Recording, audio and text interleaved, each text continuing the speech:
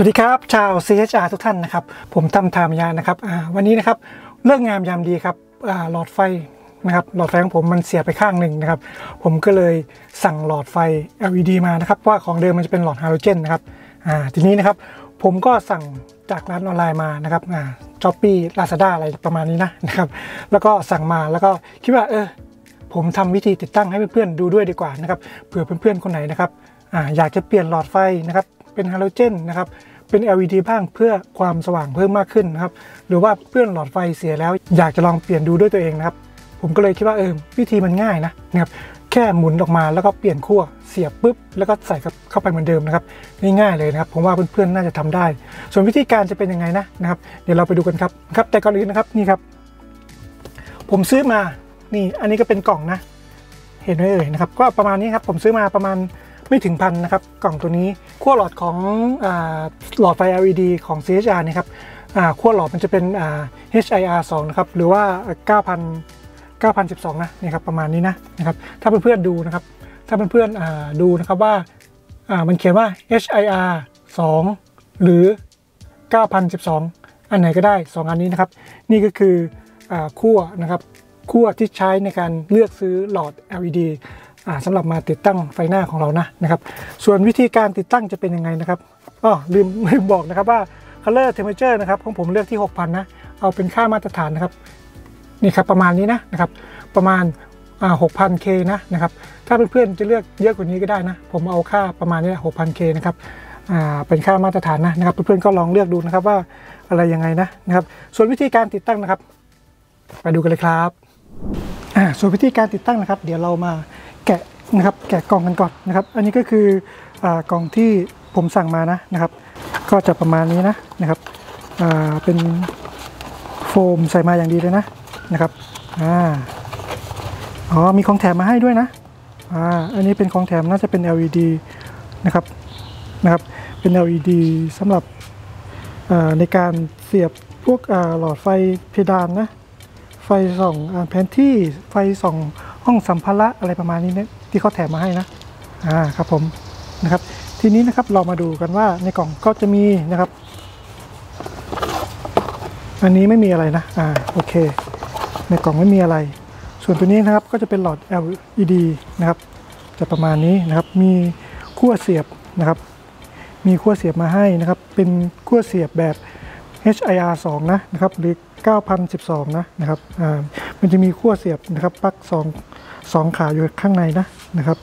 อันนี้ก็จะเป็น LED นะครับหลอดเล็กๆนะครับสองฝั่งนะครับอ่าตรงนี้ก็จะเป็นคีบระบายความร้อนนะนะครับคีบระบายความร้อนนะครับอืมโอเคนะครับทีนี้นะครับวิธีการติดตั้งนะ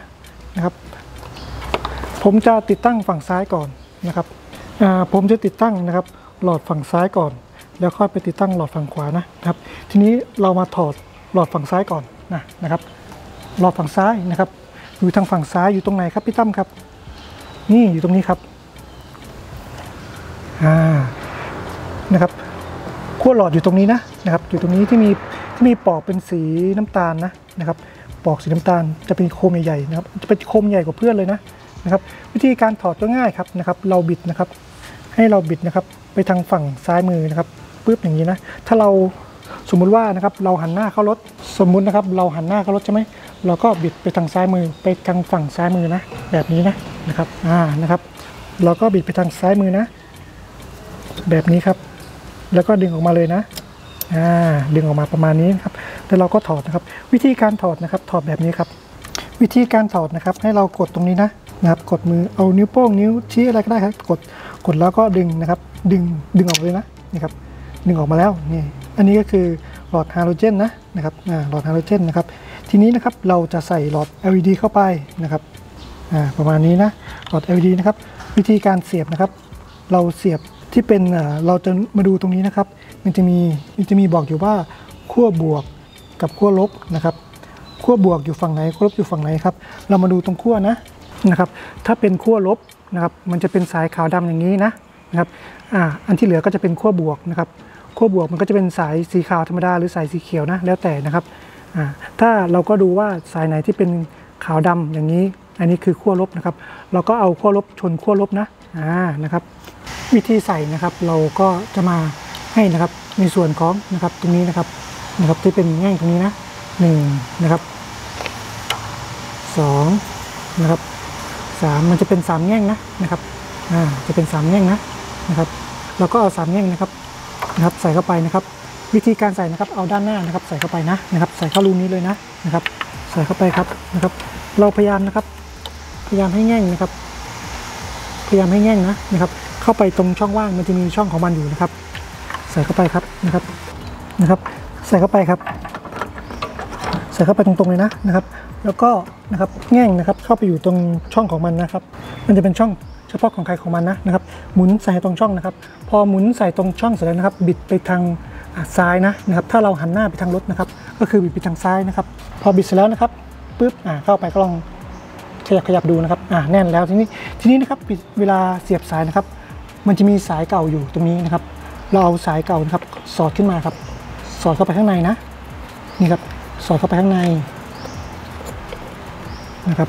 ให้ขึ้นมาอย่างนี้นะครับ ให้สายให้สายมันสอดเข้ามานะครับ อยู่ด้านในนะครับ แล้วเราก็เสียบนะครับ วิธีเสียบเราก็ดูขั้วบวกขั้วลบนะครับ ดูขั้วบวกขั้วลบนะนะครับ ดูให้ดีๆครับว่าฝั่งไหนเป็นฝั่งไหนนะครับขั้วขั้วลบนะครับขั้วลบเราก็ให้ตรงกับเส้นที่เป็นเส้นขาวดำนะครับ เราก็มานั่งดูครับว่าเส้นขาวดำอยู่ฝั่งไหนนะครับเส้นขาวดำอยู่ฝั่งซ้ายเส้นขาวดำอยู่ฝั่งซ้ายนี้นะครับ ผมก็จะเอาฝั่งขั้วลบใส่เข้าไปนะครับ แล้วก็เสียบเลยครับอ่า เสียบเข้าไปดื้อเลยครับง่ายแล้วนะครับไอ้นี่ครับที่เราสอดขึ้นมาเห็นไหมครับที่เราสอดขึ้นมาเวลารถมันสะบัดรถมันโค้งเคงโค้งเคงเนี่ยไอ้สะไอ้สายตัวเนี้ยมันก็จะลังไว้นะครับไม่ให้ไอ้นี่มันไปเคาะตามผนังไปเคาะตามต่างๆทำให้ไม่เกิดเสียงรบกวนนะครับอ่าก็จะประมาณนี้นะครับอ่านะครับ ทีนี้นะครับฝั่งซ้ายเสร็จแล้วเราไปดูฝั่งขวากันครับอ่าทีนี้มาดูฝั่งขวากันนะนะครับ ฝั่งขวานะครับ ผมจะเดินเข้ามายืนอยู่ตรงนี้นะนะครับอ่านะครับปุ๊บ ผมจะหันหน้าออกไปเหมือนรถนะนะครับ เรามาดูฝั่งขวาครับ ถ้าเราหันหน้าออกไป อันนี้ก็คือฝั่งซ้ายนะครับอ่าเพื่อนๆอย่าสับสนนะนะครับ วิธีการนะครับในการดึงออกนะครับ เราก็บิดไปทางขวาครับอ่าถ้าเราหันถ้าเราหันหน้าไปตามรถนะนะครับ เราก็บิดมาทางขวา แต่ถ้าเรายืนหันหน้าเข้าหารถ เราก็บิดไปทางซ้ายนะครับอ่าทีนี้นะครับอ่าสมมติว่าผมบิดปุ๊บบิดมาแล้วก็ดึงออกมาเฉยๆนะครับ ดึงออกมาเลยครับอ่านะครับ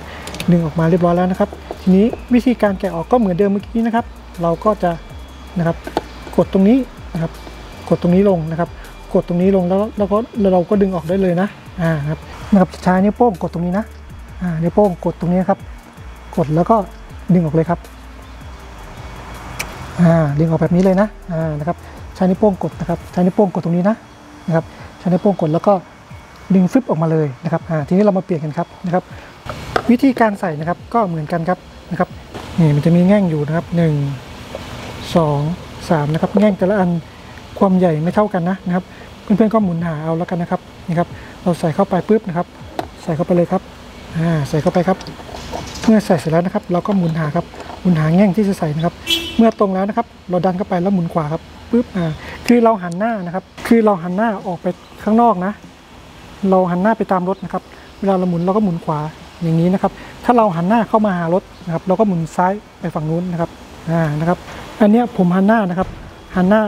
ออกไปนอกรถเหมือนกันกับรถนะนะครับ ผมยืนอยู่ข้างๆรถนะ ตรงนี้นะครับอ่านะครับ ดังนั้นนะครับเวลาเวลาหมุนปุ๊บหมุนไปทางขวาอย่างนี้อ่าบิดอย่างนี้นะครับอ่าบิดตามอ่าเข็มนาฬิกานะนะครับ มันก็จะได้เรียบร้อยแล้วนะครับอ่าอันนี้ก็คือติดตั้งเรียบร้อยแล้วนะครับ เราลองขยับดูครับเพื่อความชัวร์อ่าโอเคแน่นหนาแล้วทีนี้นะครับเวลาใส่นะครับ เวลาใส่นะครับ ผมก็จะ เอาเนี่ยครับ อันเนี้ยสอดเข้าไปใต้ข้างใน ใต้เส้นอีกอันหนึ่งนะนะครับ สอดขึ้นมาอย่างนี้ แล้วเราก็ค่อยเอาตัวใหม่นะครับ เสียบลงไปอ่านะครับ เวลามันรถเขย่ารถสั่นรถอ่าตกหลุมอะไรเงี้ย ตัวเนี้ยมันก็ช่วยล้างไม่ให้อันนี้สะบัดนะครับ ไม่ไปเคาะทำให้เกิดเสียงรบกวน หรือว่าอ่าทำให้ปลั๊กหลุดได้นะอ่า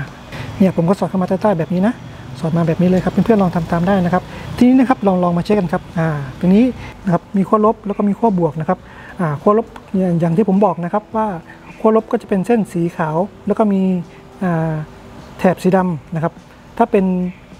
ขั้วบวกก็จะเป็นแถบสีเพียวๆเลยนะอ่าอันนี้นะครับเดี๋ยวผมดูก่อนนะครับ อันนี้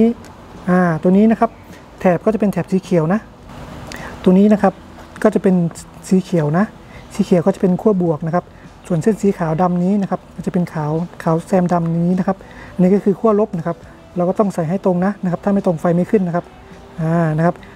ก็คือถ้าเป็นสีเป็นเพลนนะครับไม่มีไม่มีเส้นดำมาแซมนะครับ ก็คือขั้วบวกนะครับ ถ้าเป็นสีขาวแล้วมีสีดำเส้นสีดำพาดมาอย่างนี้คือขั้วลบอ่าใส่ให้ตรงนะครับอ่าทีนี้เรามาใส่กันครับ ก่อนใส่นะครับ เราก็สอดนี่ขึ้นมาก่อนนะ สอดขึ้นมาปุ๊บนะครับ สอดอ่าสอดใต้เส้นนี้ขึ้นมา แล้วเราก็เอาปลั๊กนี้นะครับนะครับ เครื่องหมายบวกนะครับ เครื่องหมายบวกนะครับอ่าเครื่องหมายบวกนะครับ ตรงกับเส้นสีเขียวนะครับ เครื่องหมายลบนะครับ